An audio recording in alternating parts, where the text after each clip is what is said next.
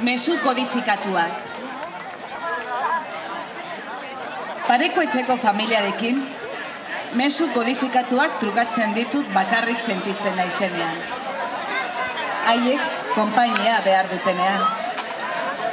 Telebistako programa komentatzen ditugu, lehiaketa hau, serie ura, eta tristen hauenean, gaur bezala, kontsolatu egiten daute. Salako argiak itzali eta piztuz. Pertsona ona zara. Zurekin amets egin nuen lengoan. En naiz akordatzen zer. Gaur tomateak erosi ditut. Beraiekin biziren aitona izan dela uste dut. Erromantizismo ultramarinoarekin.